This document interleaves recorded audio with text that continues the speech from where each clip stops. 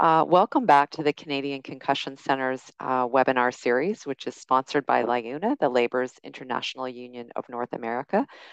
My name is Lesley Ruttan, and I'm really pleased to be moderating our series, which is running every other week on Tuesday evenings. And if you've been with us before, you know that we start off with a, a talk. We have an expert speaker who will speak for about the first half of the session, and then we open it up to question uh, and answer for the second half.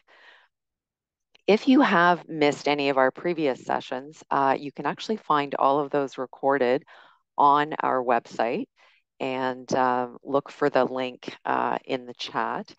Uh, and also for this evening's talk, if you just uh, look to the bottom of your screen, you'll see that there's a Q&A. So if you do have any questions for our speaker, please enter them there. If you're having any kind of technical difficulties, please enter those into the chat and Christian uh, will get back to you and, uh, and help you out. So at this time, we usually just run a quick poll uh, to get a sense of who is in our audience. So I'll just wait a second for Christian to bring that up and give you a second to indicate who you are. Thanks so much. So for this evening's session, I'm really pleased to introduce Dr. Andrea Para, uh, and she's going to be uh, talking about imaging in concussion. Dr. Para obtained her master's degree in medical biophysics and medical doctorate at the University of Toronto, followed by residency in diagnostic radiology at Western University and diagnostic neuroradiology fellowship at Yale University. She is now a diagnostic neuroradiologist in the Joint Department of Medical Imaging and an assistant professor at the University of Toronto. Dr. Para's interests are in advanced neuroimaging, medical education, and quality improvement.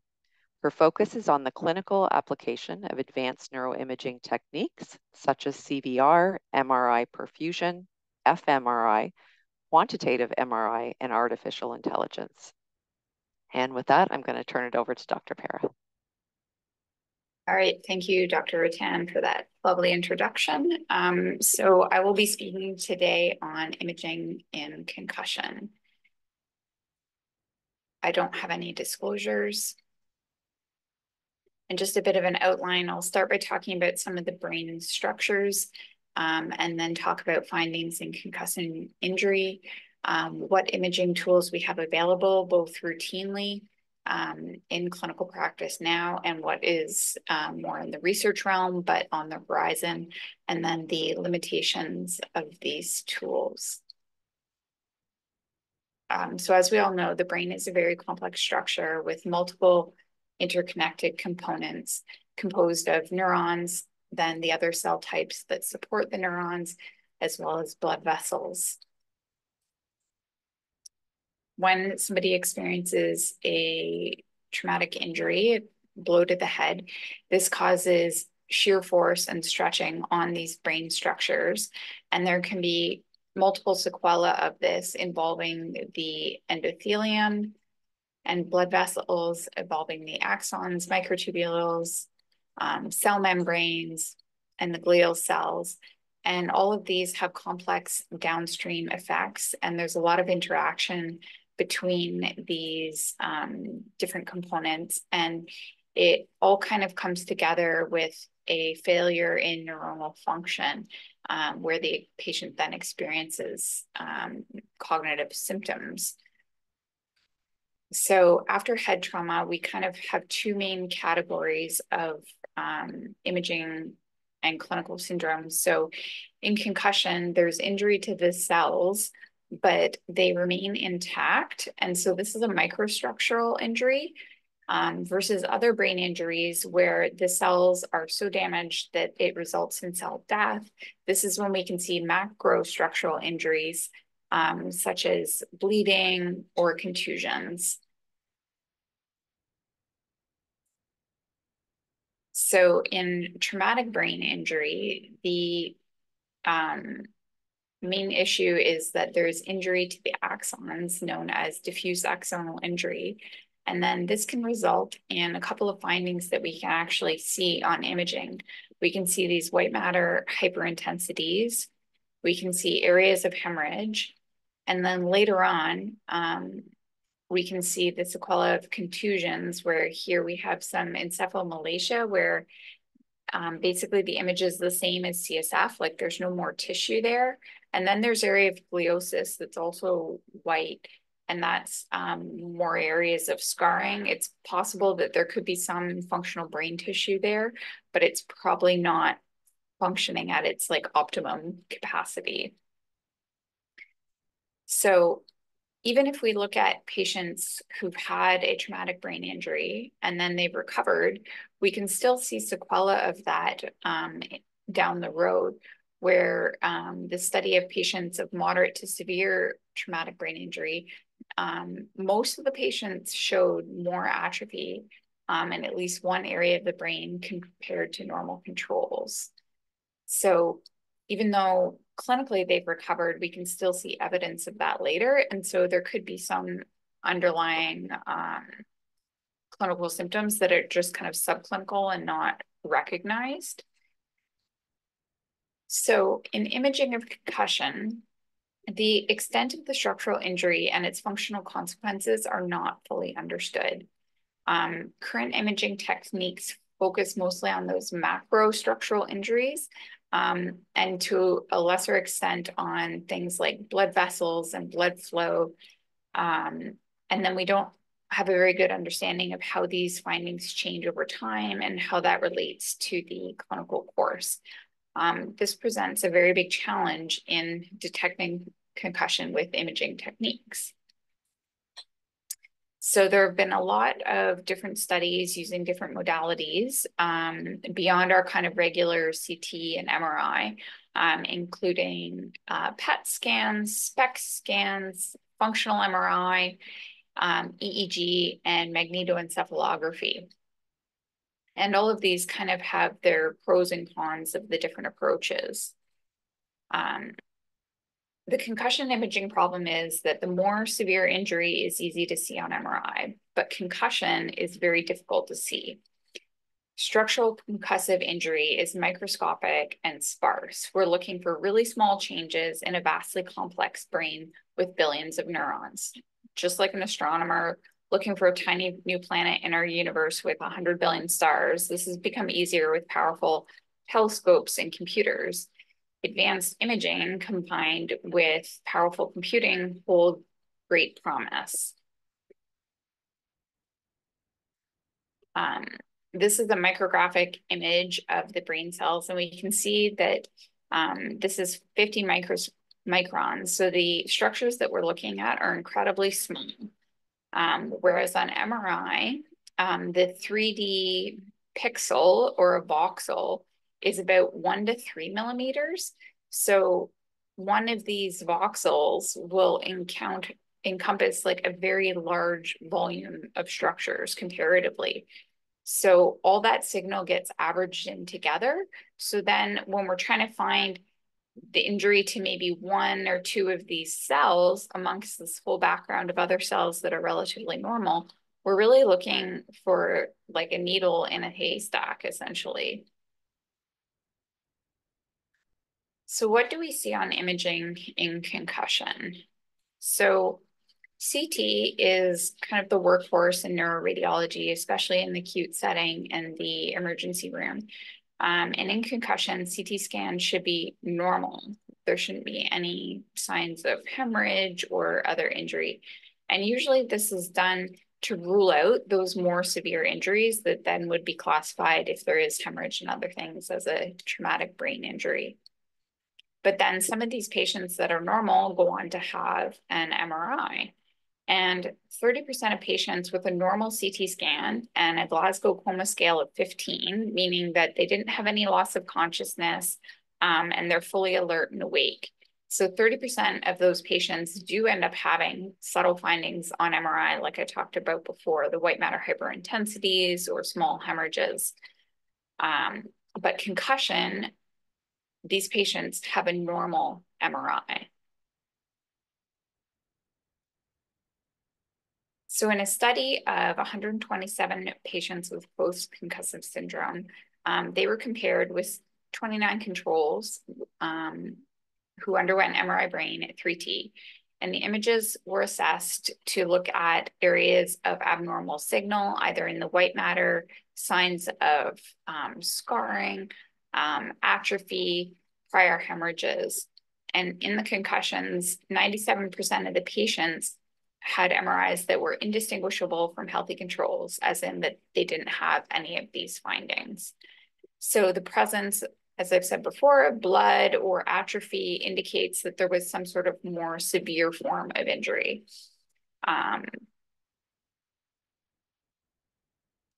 So some other imaging modalities that there's a lot of um, clinical interest in, um, one of being SPECT, which stands for Single Photon Emission Computed Tomography. So this is clinically used routinely in the diagnosis of epilepsy and dementia, and there's been great interest in using it in concussion, but it's not quite ready for um, clinical application at this time. Um, the SPECT scan involves injection of a tracer, and this is used to measure cerebral blood flow. This is an example of a SPECT scan in normal patients. Um, and we can see the tracer uptake here in red is brighter in the cortex and the gray matter um, compared to the white matter. And when you're looking at these normal patients, there are still variations between people with little areas that are slightly asymmetric or slightly hotter or colder. Um, and then if you're trying to compare that to patients, it's really hard to tell what falls within that range of normal variation that we would see in a healthy population versus trying to seek out that variation that's caused by whatever disease that you're trying to understand. Um, so in a study that was done with SPECT and mild traumatic brain injury, um, this study found that, as I said, in CT and MRI, the, the findings are usually um, not very common. So in CT, 4.5% of the patients had an abnormality. MRI was a bit more sensitive in picking up abnormalities at 9%, but SPECT CT had about half the patients had abnormal results.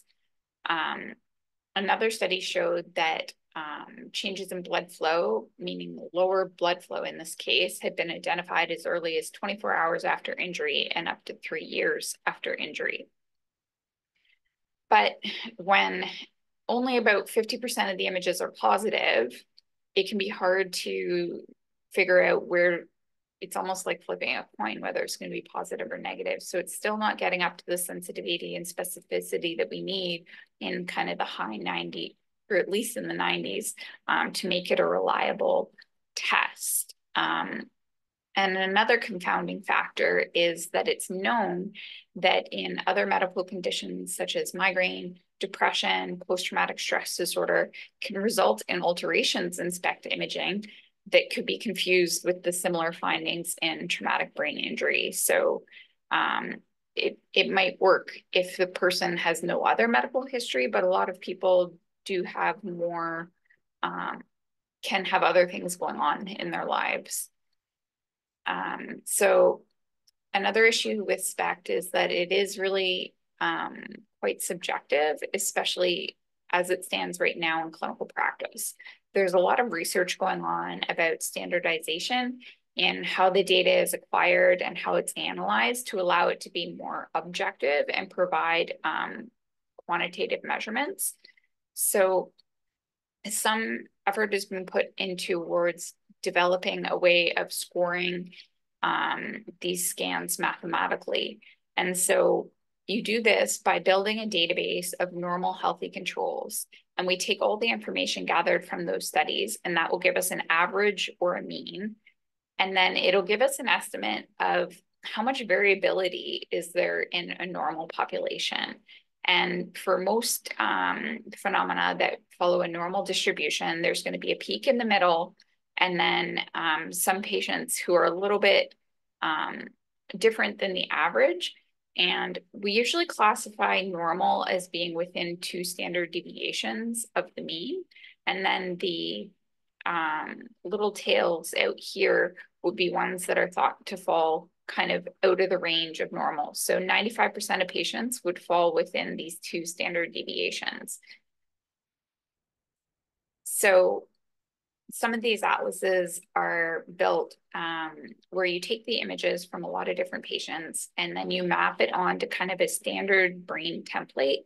And that way you can average the data, even if everybody's brain is a little bit different in shape. It's a way to um, kind of standardize everything. And then you can measure um, different measurements in different anatomical locations. Um, and in this case, it shows that there's um, higher uptake in the cortex as we saw on the other side, and then um, lower uptake in the white matter. Um, so there have been efforts to make clinical uh, programs to take advantage of this approach. One, um, this is software from GE that allows you to map the findings onto images of the brain. And then it also breaks it down by the different um, areas in the brain and gives you an estimate of are these within that normal range of two standard deviations or are they below that? And for this patient, we can see like if normal's in the middle and then two is here. So all these kind of boxes here are areas that are below two standard deviations, or they're lower than what would be found in 95% of the population. Um, one of the areas that jumps out is the right temporal pole. And we know because of that area um, where it is next to the skull base, it's one of the areas that can commonly be injured. Um, and we often see contusions there. Um, the drawback to this is that it's not widely available. I don't think it, there's been a lot of um, clinical uptake. So maybe some of these things are coming down the road in the future, but they're not quite there yet. Um, there's also been efforts on SPECT to use different tracers that can measure different things other than just blood flow. And so this tracer is targeted towards the microglia, and they're known to be involved in the inflammatory process. And um, after traumatic brain injury, there is uptake seen, increased uptake seen at one to two weeks post injury. And then in patients who have per persistent concussive symptoms, they can still show uptake later at three and four months post injury. So then, can any other advanced neuroimaging techniques do any better? So there are a lot of different areas that are being investigated, including um, measuring the brain volumes or cortical thickness, looking at diffusion tensor imaging, like looking at the tracks within the brain, looking at resting state connectivity, and looking at uh, the health of the blood vessels and the cerebrovascular reactivity. So this was a postmortem study done at 7T so that's seven Tesla. Usually in clinical practice, most of the magnets in use are either 1.5 or 3T. So this is a very strong magnet that allows you to get incredibly high resolution detailed images. These almost look like a pathology specimen rather than an image. Um, and in this study, they looked at um, football players who had had a history of multiple concussions. Um, and this one didn't show a lot of changes um, in terms of brain volumes, but they did show a possible um, decrease in the hippocampal size. Um, another study that did show some other differences in brain volumes. This was in um, military service members who had been exposed to um, blast injuries from like either firing weapons or things landing near them um, working around loud machinery. And um, this population was compared to normal healthy controls. And these are areas that showed increased atrophy compared to the normal controls. And they also looked at the correlation between the brain volumes and the patient age and compared that to the normal controls. So the yellow line or all the yellow dots here are normal controls. And this is the change in um, volume expected over time. And then in the patients who had this history of traumatic brain injury, we can see that there's a lot of overlap. Like a lot of these individual dots are kind of in the same area, but when we have this larger group of data, we can um, look at the trend over time and the slope is steeper. So their atrophy is occurring at a faster rate than the normal population. So this is kind of one of the challenges of a lot of these studies is that there's just so much overlap. So when we have a large group and we can do this statistical analysis, we can um, come up with some trends. But if you're the individual patient here, it's very hard to know where do you fall. Are you on the yellow green line or are you on the blue line? And we don't have a good way to reliably separate the two groups. So another um, technique is called diffusion tensor imaging or DTI, and it measures changes in the tissue based on how water moves um, and how the disease disrupts the normal biological barriers. So um, this is an MRI performed in a common vegetable celery, and we can see that it doesn't really tell us much about the structure of the celery, but from eating it, you know that there's these long channels in it that are kind of fibrous, and that's how the water moves through the celery. But if we add DTI, now we can see those structures um, quite clearly. So when you apply this to the brain, then we can map all the different fiber tracks within the brain and it can help us understand where the neurons are going and how things are connected or if these have been disrupted. There's a lot of different metrics that can be derived from this data. Um, the diffusivity um, and fractional anisotropy. So in a study, um, this was done, a study done in football players where they put an accelerometer on their helmets to measure um, over the course of a season um, you know how many hits did they get and what were the forces that were exerted. Um, and then they also looked at like did they have any clinical symptoms of concussion or were they kind of thought to be okay and this study showed that there was decreased uh, fractional anisotropy in the cortical spinal tract which is the main um, kind of motor tract. and that um, happened over a single season of playing. Um, the decrease also correlated to the amount of force. So if somebody had more blows, then um, the decrease was larger. Um, and then this decrease in fractional anisotropy um, also correlated with a um, biomarker in the serum called tau, which can be seen in other neurodegenerative processes like Alzheimer's disease.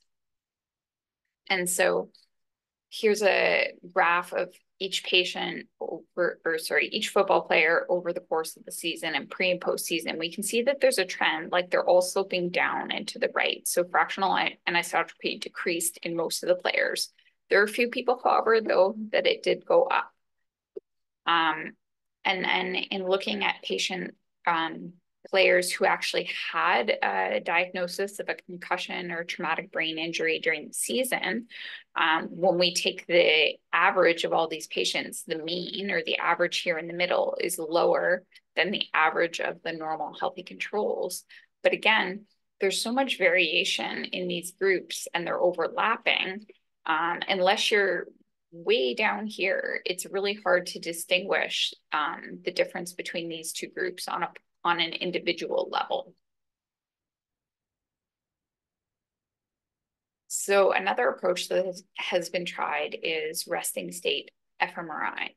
And um, to do resting state fMRI, um, you're in the MR scanner and we'll have the patient fixate on either a like image of a cross and just try and focus on the image, but not really thinking or doing anything specifically.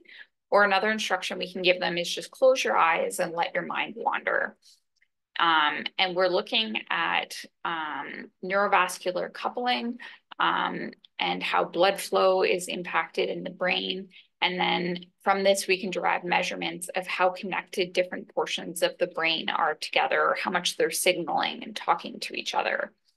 And when we do this sort of analysis, um, there's a couple of things that we can see. So one is the default mode network. Um, and this is more active during rest than during tasks that require your attention and focus. And it's thought to be like that kind of like, how do you know um, if something startles you or wakes you up? Um, that your brain, even if you're not paying attention to it, that it's still kind of paying attention to things. Um, and then there's also other networks like the motor network, um, which is responsible for moving your body and doing tasks. Um, so for uh, resting state fMRI, they looked at um, people with minor head trauma. And this was defined as a Glasgow Coma scale between 13 to 15. So 15 would be completely normal and 13 is kind of mildly reduced, but these people would still be alert and able to answer questions, but maybe they were a bit confused or drowsy um, after the injury. And um, during this study, again, there were group level differences when we averaged everybody together, but it's very hard to um, apply this to each individual. So this is an example of the um, default mode network in a healthy brain. And then this is the connectivity that we see in um, mild traumatic brain injury. So we're not seeing those large areas of activation that we're seeing in the healthy controls. So Another kind of more complex version of this analysis includes um, graph theory, where it's trying to model some of these connections. Um, so we have multiple different nodes in the brain, and they connect to a central hub. So all these are kind of working together, and then the hubs can connect to different hubs farther away, which might be connected to a whole bunch of nodes. And these form a very complex pathway. Um, we can do mathematical models of this to look at how many nodes are there, how many nodes connect to each hub, how many hubs are connected to each other, what is the distance between all these connections, and then what degree of like clustering or how many of these are kind of working together doing um, similar tasks. And so using this approach, um, there is a global increase in the connectivity eight days post-concussion relative to normal controls. Um, and this is thought to be that there's recruitment of additional neural resources to enable communication following disruption of networks. So um, the brain has realized that certain neurons or activities are not happening, and then um, there, the connectivity is increased to try and compensate for it. Um, Another finding was that in patients with traumatic brain injury, um, the brain is more connected to itself locally. So those short um, connections are seen more often. But then the path, the longest path between disconnections is longer. So it shows us that we do understand how some of these connections are altered, but I don't think we fully understand the meaning of this? Um, is it is this basically plasticity in the brain um, changing the way it's going to work, or is this just a temporary phenomenon? Is there any way that we can use this to predict who might recover or who might have more difficulty in their recovery? Um, another technique is magnetoencephalography. And here's a patient sitting in the scanner, and it's a technique that maps brain activity by measuring magnetic fields and the the electrical currents generate the magnetic fields. These are pretty small, so that's why there's a very large scanner over the patient's head. Um, but this can be detected with these very sensitive magnometers.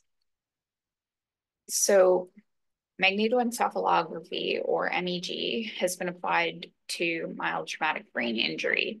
Um, and it's found that patients with a history of traumatic brain injury have abnormal slow waves that can be measured, sorry, measured um, and localized. And this slow wave generation happens in a few specific areas. Um, it was seen particularly in the uh, frontal and prefrontal regions, and that can manifest as changes in personality, difficulty concentrating, um, changes in their mood um, or depression. And these slow waves are thought to be due to cortical deafferentiation or um, injury to the axons that are connecting to the brain cortex. And so this was a review article looking at several studies of MEG and again, similar to the other modalities, um, they conclude that there is potential, but it's still not um, specific enough for an individual patient. It shows us these differences on a population level, but we're really trying to hone down on how do we um, diagnose or treat a specific individual patient. So another aspect that we can look at is blood flow in the brain. Um, so a technique that we can use to do this is called cerebrovascular reactivity. And in this study, we use um, a special MRI sequence that looks at blood flow. Um, and then we give a vasodilatory stimulus um, to try and dilate the blood vessels so we can tell like how healthy are they? Can they react really quickly and robustly? Or are they a bit more slow and sluggish? Um, and what we use for this test is just carbon dioxide. So this can be done just by holding your breath, um, or we can administer it through a mask. There's also other medications that we can use and inject in the arm um, to cause that vasodilation. And this is a map of cerebrovascular reactivity. This is from a normal atlas. So this is many brains averaged together on a standardized map. Um, and we can see that positive cerebrovascular reactivity is shown in kind of red, orange, and it's higher in the cortex. And then the yellow colors are a bit lower in the white matter. Um, so kind of similar to the pattern that we see on SPECT, which is also looking at blood flow. Um, and then you can also compare this to a normal atlas, um, kind of like the SPECT study, um, and look at how many standard deviations um, is this above or below normal. So here, if they're within one standard deviation, we're not showing any color. And then a lot of this light blue is between one to two standard deviations. But like I said before, we really want to see changes that are below two standard deviations before we're starting to call things abnormal versus just within the spectrum of normal. Um, so this was a study using CBR um, to look at patients who had had a prior concussion, and they were compared to a normal atlas of healthy controls. Um, and we can see that the concussion patients here, there's a lot more of that positive CBR, red, yellow, um, compared to the normal controls. Um, and the area under the curve for this test was 0.9 and 0.93, which is very good. A perfect test would have an area under the curve of one, and then a test that was no better than flipping a coin would be along this green line here. So this is actually quite sensitive in differentiating um, patients with concussion versus healthy controls. Um, and then when we break it down a little bit more, there were two things that were actually significant. One was that the magnitude of response was higher in the patients compared to the controls, but then the other was also that the speed of the response was also faster than in normal controls. So um, like the other study I was talking about earlier, it seems like the brain is reacting in a kind of overexcited or overactive manner, um, as opposed to almost all other pathologies we see decreased magnitude of response and decreased speed of response. So this is very unique to concussion.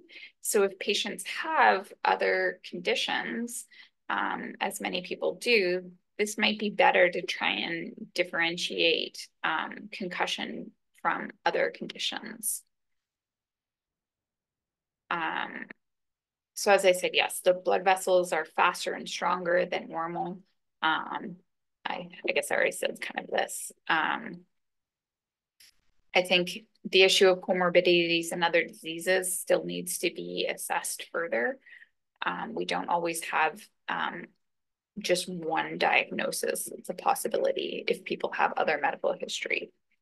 So the status of advanced neuroimaging. It's this dilemma between the individual patient, and then a lot of these research studies are done on large populations. And despite all these really advanced techniques and sophisticated analysis, we're still not able to um, apply this uh, to individual patients. So how can we do better? Is there a better biomarker? How do we figure out um, things on an individual level? So some of this might involve integrating a couple of these different approaches into kind of one model where we take structural data and functional data and integrate all of that, maybe with some clinical biomarkers, um, and put together a very complex model of this complex process.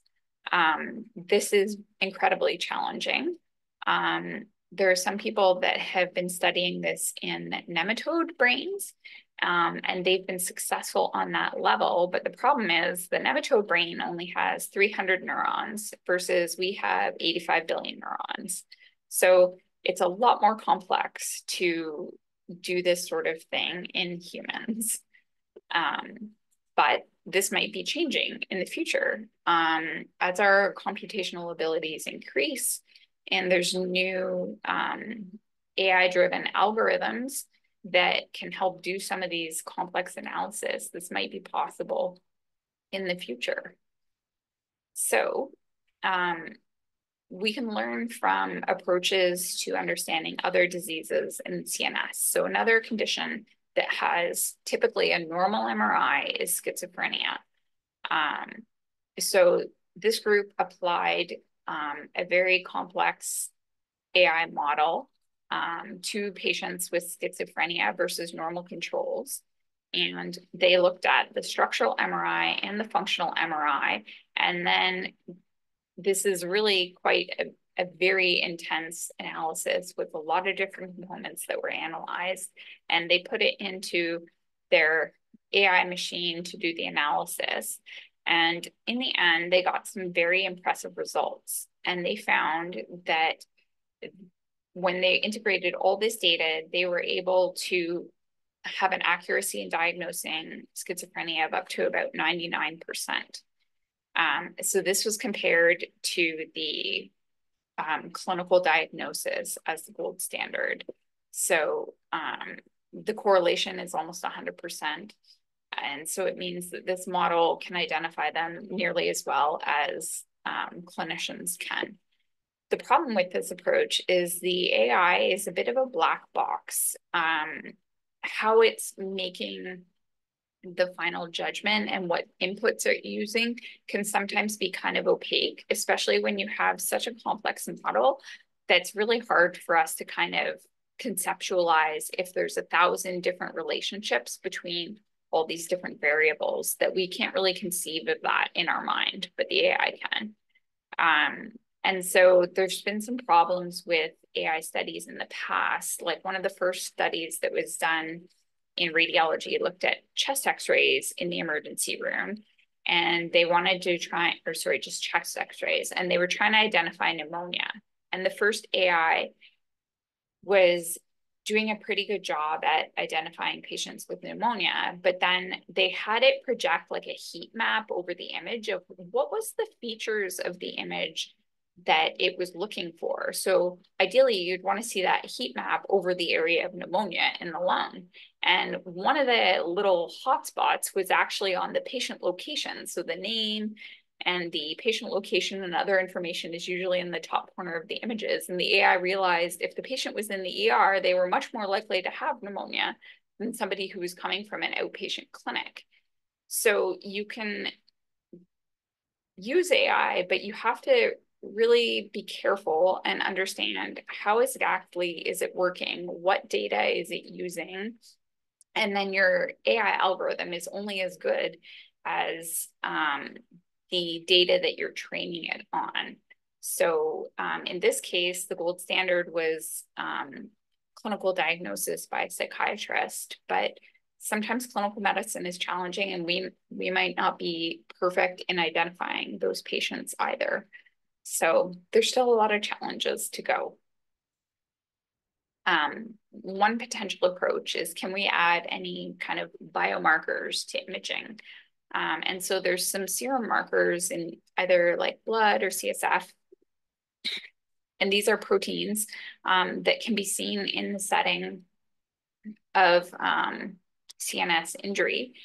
Um, but a lot of the studies have again focused on the group level and not individual patient levels. Um, and technically, these aren't specific to just traumatic brain injury. You can see some of these in other um, neurodegenerative processes as well. So um, it could be a red flag if a patient has a, a comorbid medical condition that um, impacts one of these.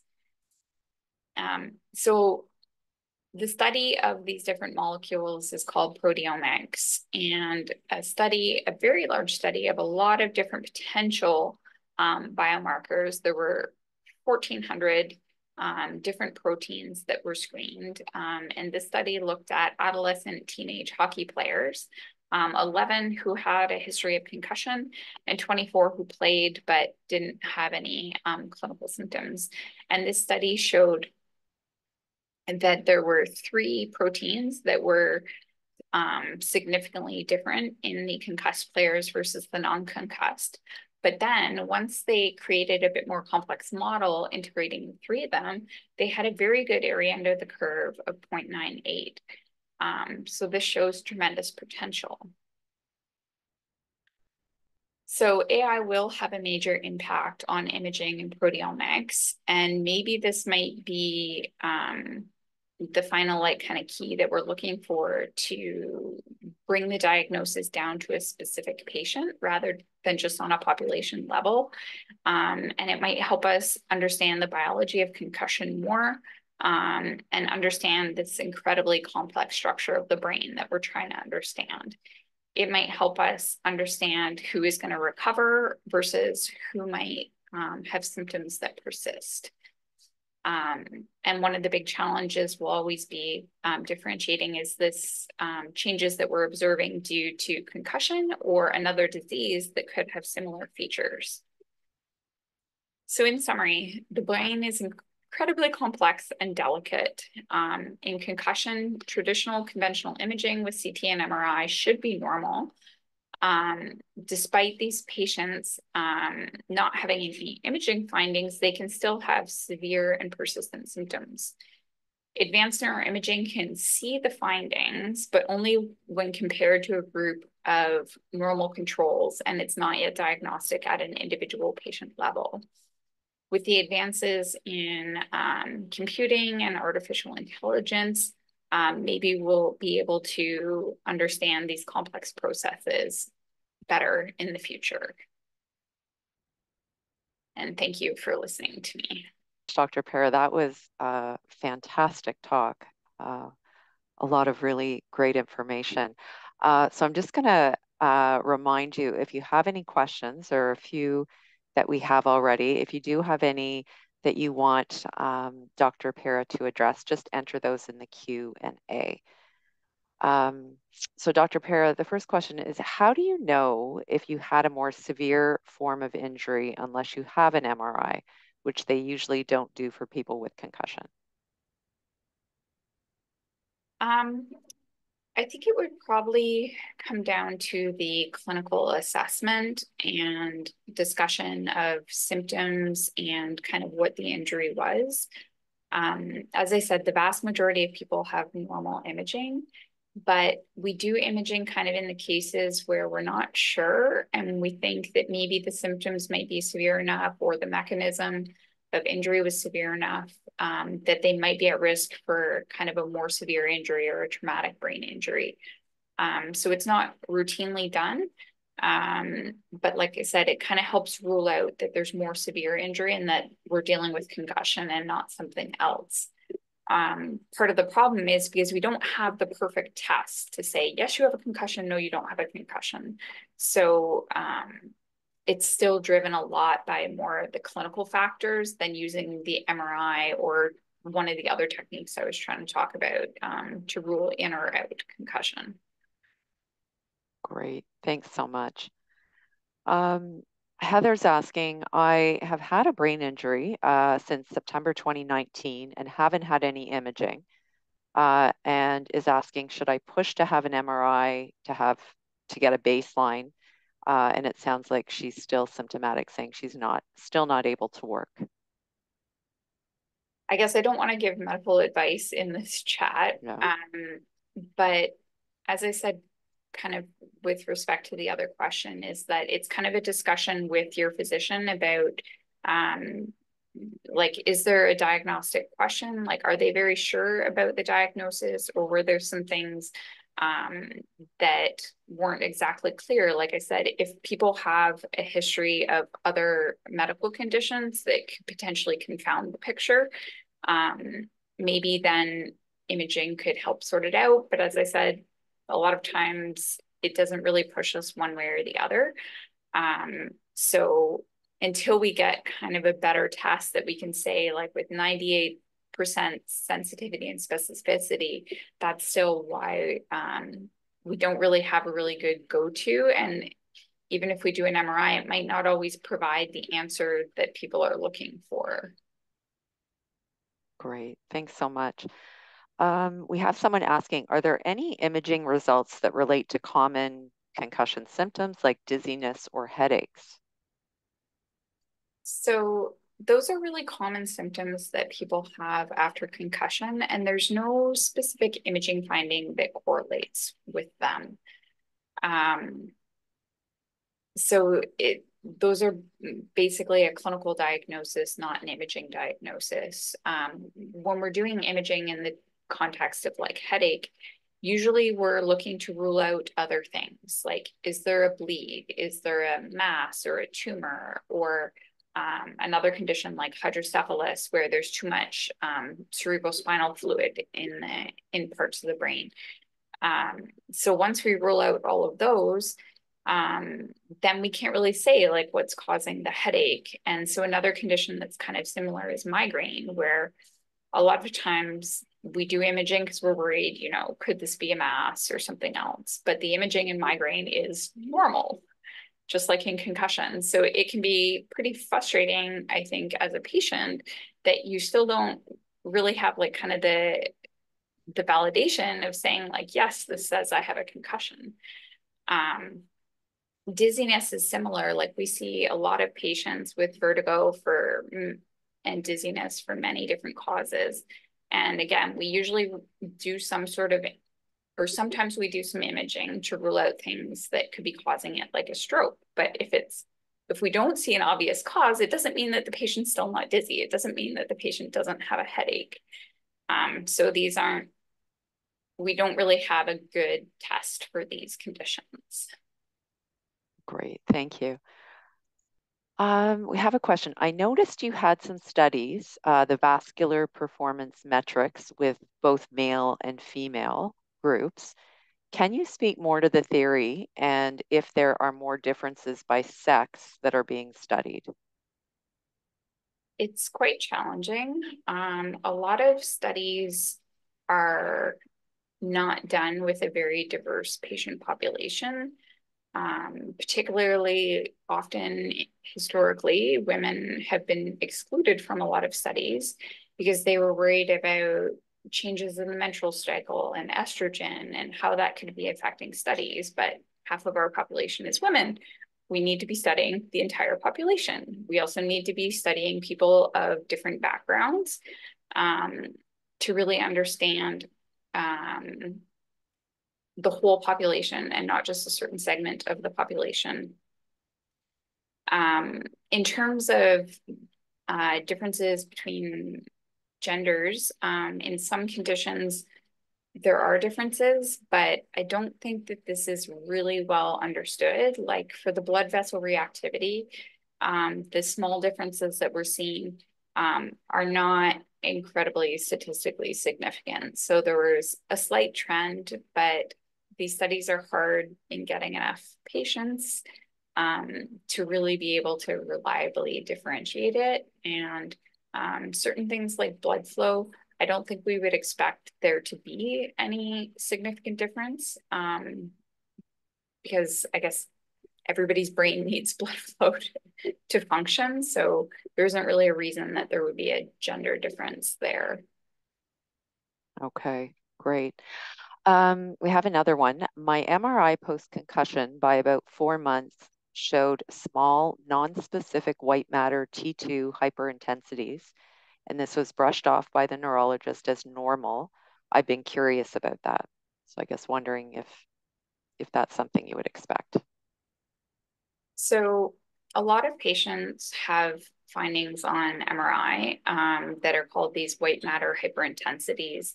And typically they're just very small dots, kind of one to three millimeters. And we can see these in um, the context of like prior trauma and concussion and traumatic brain injury. We can also see them as a consequence of kind of normal aging. We can see them related to vascular disorders such as stroke or small vessel disease. Um, and that's commonly seen in patients who have vascular risk factors such as diabetes, hypertension, dyslipidemia, or a sedentary lifestyle. Um, migraine is another condition that affects the blood vessels. And then if there's dysregulation in blood flow, that can cause some of these changes as well. So all these different disease processes can cause kind of the converge on the same end pathway that is these um, kind of, we sometimes call them unidentified bright objects or UBOs. Um, and that we don't we see the white dot, but we can't tell you what caused it specifically. Um, so then we try and put together some clinical history, like how old is the patient? Do they have any of those vascular risk factors? Have they had a prior injury? Do they have a history of migraine? And from that, we can try and attribute what might be the underlying cause. Um, sometimes things can have a bit more characteristic appearance that might lean you one way or the other, but a lot of times it's kind of non-specific. Okay, thanks so much. How would you recommend a patient go about getting a functional MRI? What hospitals or clinics offer them? So right now, functional MRI isn't being used clinically for concussion. So that would only be on like a research basis as part of like a clinical trial. Um, we do do functional MRI for other conditions like um, mapping language before epilepsy surgery, but it's not routinely done clinically for concussion. Great, thank you. Uh, Lori is asking, what imaging can be used to look at the C1 and C2 atlas to see about cervical instability and whether that might be a reason for people's dizziness during concussion or after concussion? Um, so usually what we do to look at the cervical spine in the context of trauma is you can either do x-rays or a CT. Um, so often when people come into the emergency room, we'll do a CT of the head and of the cervical spine, um, depending on, again, the, the story and what injuries they had. Um, and that can look for things like fractures and broken bones. It can also sometimes show um, injuries to the soft tissues and ligaments.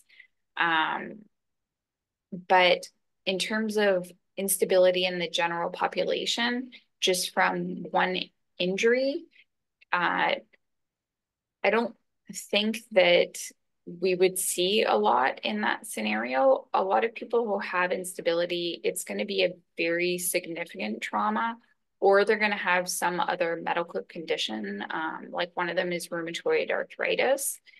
Um, so in terms of for you, if there be anything that would be indicated, again, that's a discussion with your patient, um, your physician about your specific situation, but it wouldn't be something that we routinely are looking for.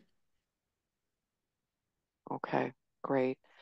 Um, we've got one more here. Um, my son had a concussion in March 2021, was told it was a small concussion. Uh, however, after several months and now years of symptoms and therapy, another non-contrast image was done. And we were told he had a thinning of his semicircular, if I'm going to pronounce this right, dehiscence, uh, which might contribute to his audiology issues. Uh, could they not have seen this previously and how will this impact him since it was missed before? Any thoughts? So it's it's hard to say um, with respect to like a new finding that wasn't seen before. I'm not sure if the same test was done, but there's a lot of different ways we can do MRI and a lot of different imaging sequences that we can acquire.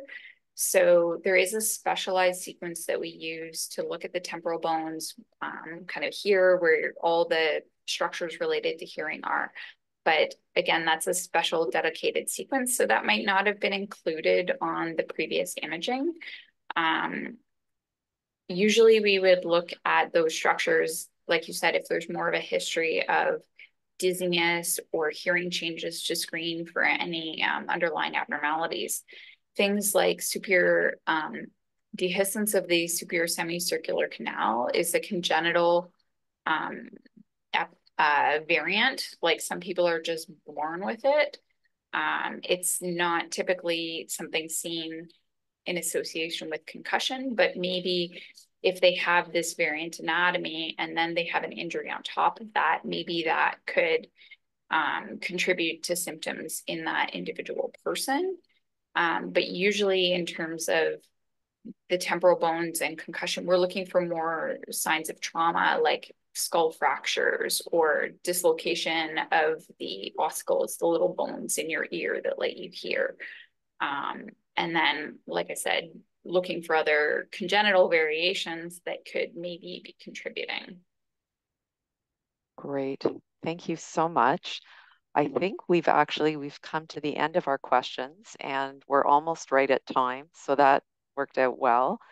Um, thanks again, Dr. Para. That was excellent, really excellent talk. Oh, okay. I see one more. Uh, someone is commenting that they had the white spots or hyperintensities on MRI two weeks post concussion. And when the MRI was repeated about two years after, they weren't there anymore. I guess just looking for your comment on that. Yeah, so when I talked about the white matter hyperintensities before, um, like I said, they're a common pathway that could be seen as a result of many underlying conditions. But then there's another phenomenon where sometimes there's healing and they go away, or maybe there's atrophy of the adjacent brain and then they are less visible to us later on. Maybe if we were to look on like a pathology level, we might still see some of those changes, but they're no longer apparent on the imaging. And this is another phenomenon that we see quite often, but we don't fully understand why it's happening. So the two kind of main theories are is that the brain has healed or we just can't see those changes as well as we used to. Um, and again, the significance of that, we don't know. Okay. And are there any current studies going on at UHN or in Toronto that you're aware of or that you'd recommend to concussion patients? Um, I'm not sure about that. Um, there are a lot of different studies going on, but I'm not, um, I can't give specific recommendations of which ones would be recruiting what specific patients um, for those opportunities. So um, I'm not sure about that one. Okay, no problem. All right. Well, I think we are definitely uh, at time now. So thank you uh, again. Uh, just to everyone watching, as always, there will be a very short survey that comes your way. Uh, so if you have a minute, um, if you can fill that out, we're always open to your feedback, your suggestions. Um, on occasion, people will put a question in, but just know that if we don't have your contact information, um, so you can always put your email because the, the surveys come in and they're anonymous. We don't know who we're getting them from. So um, and I just want to make note of the fact that we'll be back in two weeks and we are going to have Dr. Christine Dalton uh, with us. Uh, and she is going to be speaking to optometry post concussion. So hope to see you back in a couple of weeks and hope everyone has a great evening. Thanks again.